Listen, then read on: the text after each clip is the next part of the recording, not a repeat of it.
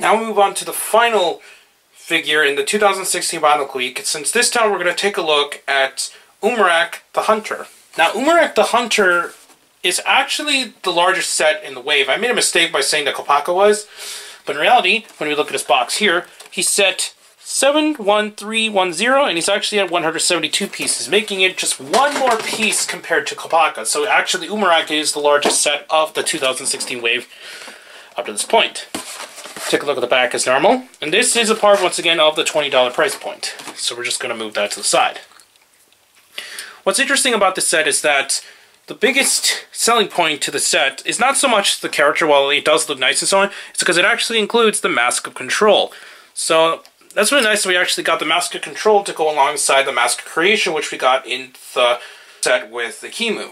But anyways, so now take a look at Umarak. Now Umarak, while it does maintain mostly the same articulation points, it is a few different in a few areas.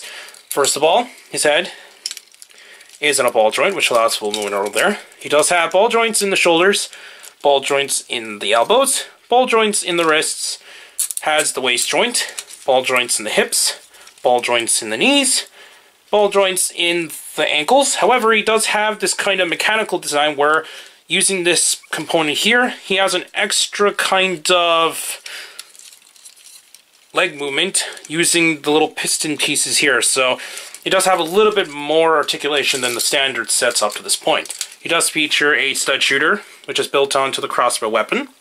What's cool is that, by the way, that these ports on his hands work. He can actually bend it into several different ways so that you can can display him in several different ways instead of just being a standard crossbow shooting stance. You can kind of move it around and it makes it a lot more interesting that you can actually put it in different positions.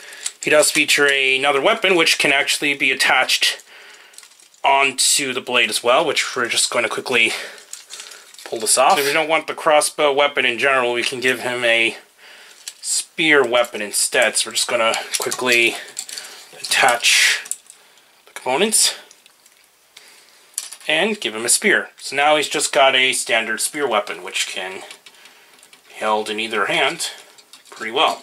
And it does have that kind of gimmick where you can remove the mask again, but with these versions of the masks, it's a little bit harder to actually accomplish.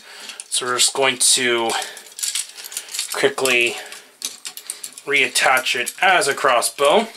There we go. So now we got it back into crossbow mode. And what's cool is that the mask can actually fit on his head really well, and it works pretty nicely actually for what it needs to do. Now, this set also includes a trap, but it's not like the standard type of traps we've seen up to this point, since what we do is detach the shoulder pieces and they actually form the trap. So we're going to remove it, and sometimes the mask does pop off, so we're just going to quickly reattach it. Okay. For some reason the mask is coming off quite easily today. For some reason, just trying to position him so that he can stand with no major issues. Okay, there. I'm going to reattach the mask. And then, what we do is that how this works is that we're just going to, as if we're trying to build a trap in the first place, we're going to plug the ports in like this. And it actually comes with this extra piece so that you can form the middle part. So you can add that little attaching ability like we've seen previously.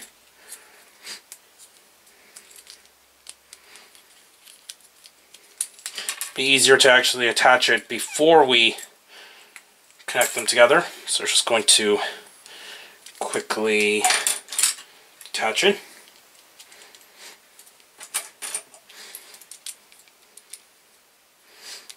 So with that we can actually form the trap. like normal. So now we got this part of the trap here. And actually what we're going to do next is take the claw pieces, which are another points of articulation, which I forgot to mention earlier, and they will actually form the legs for the little trap here.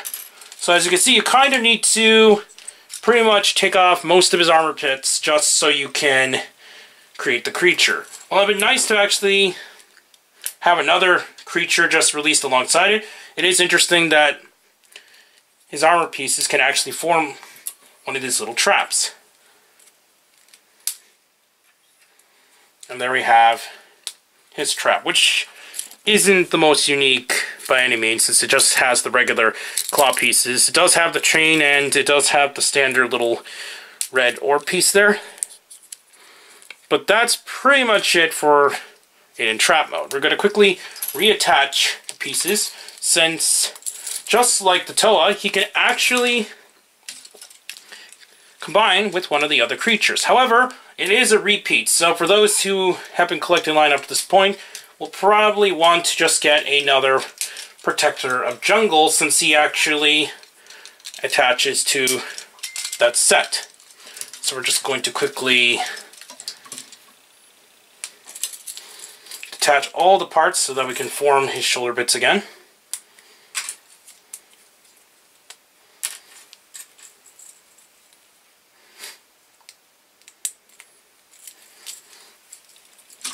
We're just going to reattach the shoulders. Which can be a bit tricky due to the way that his shoulders are designed, since all these little ports like to move quite a bit.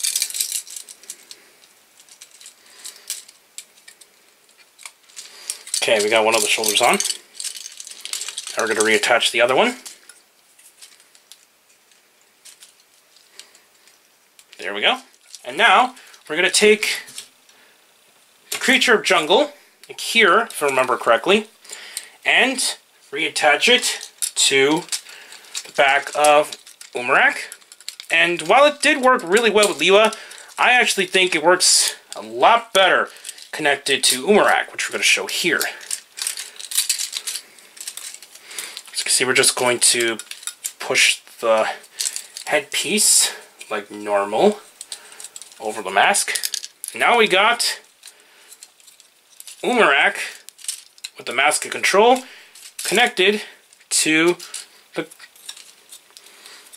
the creature of jungle. So as you can see, it looks really menacing when attached with the creature jungle. And I think it works one of the best types of combinations for the sets up to this point.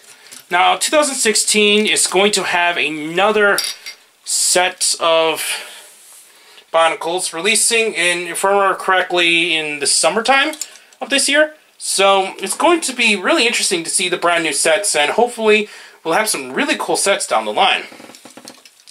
What's cool, is I forgot to mention, is that he also includes the little clip as well. So that's really nice that it does feature a way that you can still store it. I'm really glad that LEGO decided to add in those just a little bit of extra play value for each of the sets. So that pretty much covers the 2016 Bionicles, at least in the first half of 2016.